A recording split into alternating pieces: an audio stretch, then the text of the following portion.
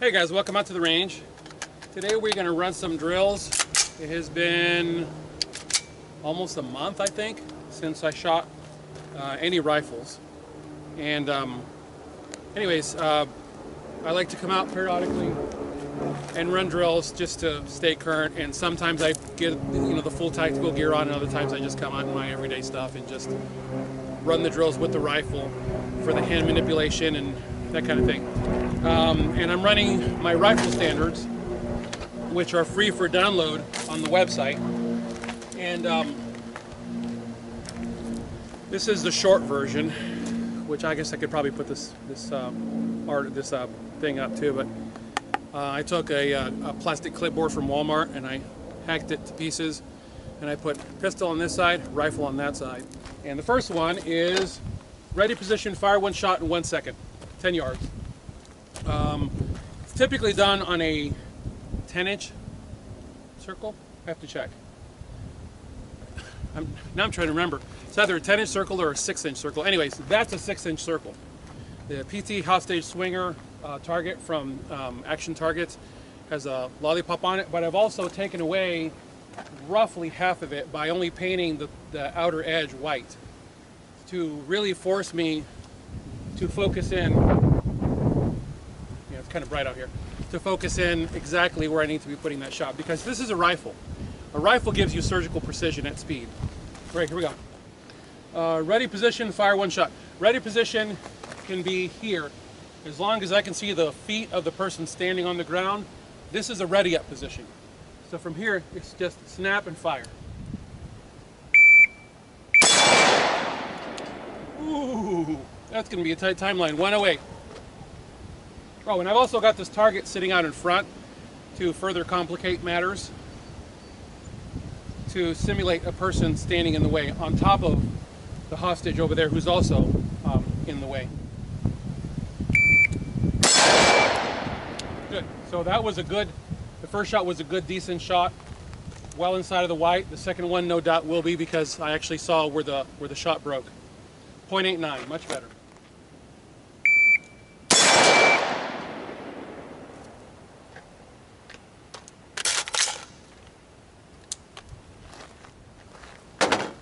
Point eight six. We'll do it one more time.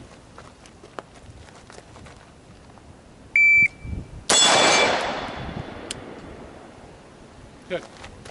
All right, 0.95, move on. Ready position, fire four shots. Do I have four? Yes, I do.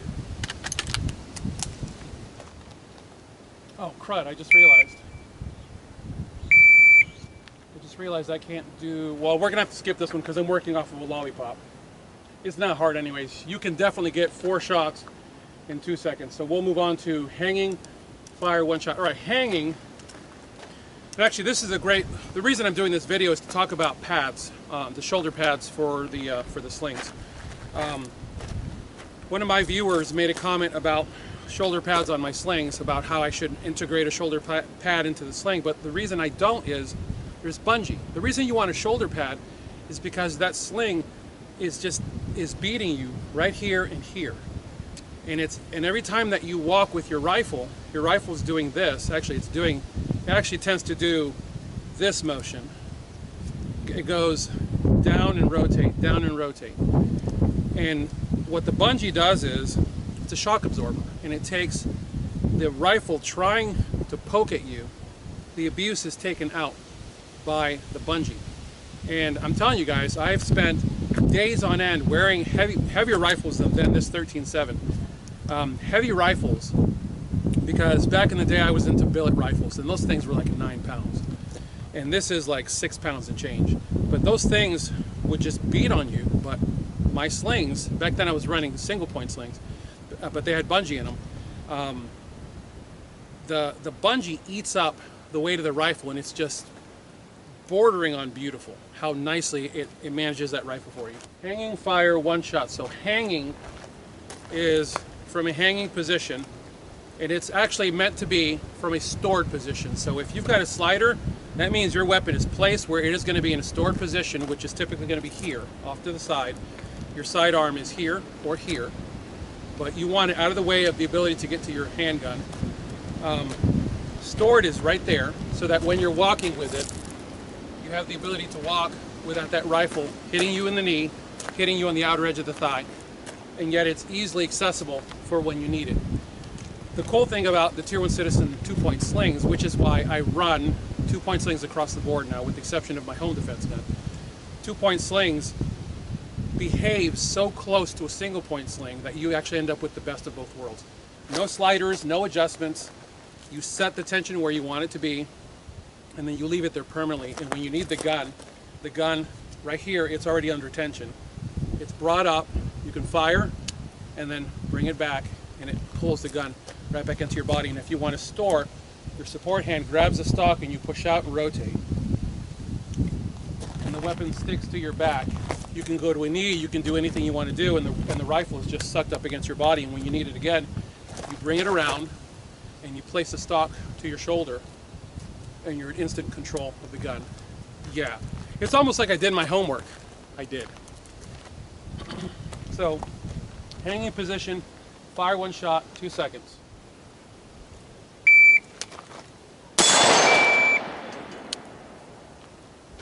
One five three. And by the way, hanging position isn't this.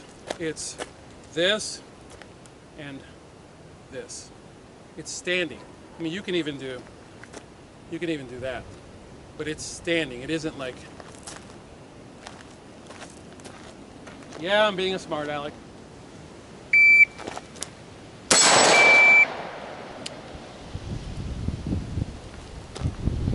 One five nine.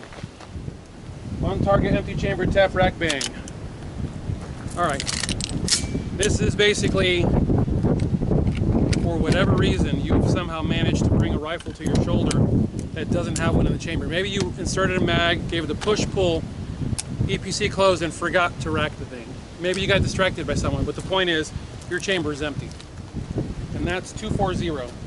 On target, empty chamber, tap rack bang. So on target, empty chamber, tap rack bang means safety off, finger on trigger, slack taken up.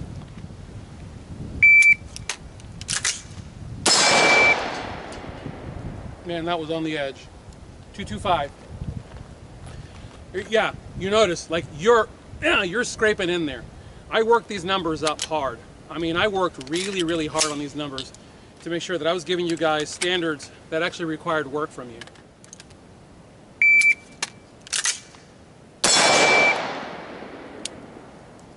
Two, two, four. Good. Move on. On target, fire one shot. Emergency reload, fire one shot.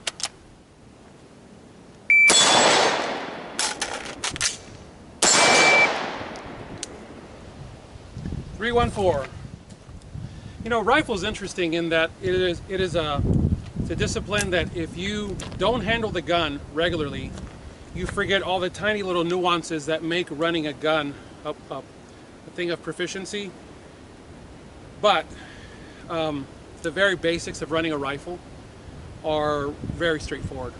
It's just all the, the little doodads that you have to remember how to run. On target, fire one shot. Emergency reload, fire one shot. 325. And I did that in 314. Oh, got a handful of shirt. Got a handful of shirt.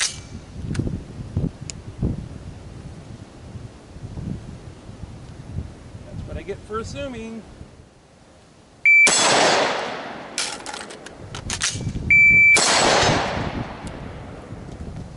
Getting that mag in there. Getting that mag in there.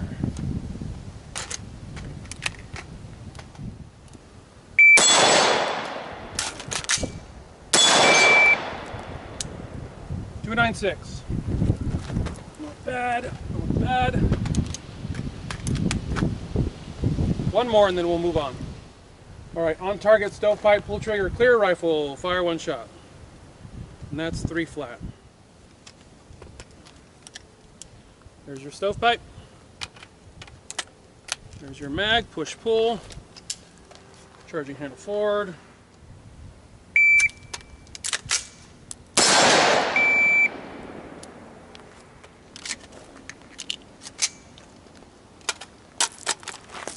Chucking mags around. These are training mags and they are old as dirt. And they're even cracked. The feed lips are actually cracked on them and they just keep running. Ah! Miss! You did it on camera, Abner.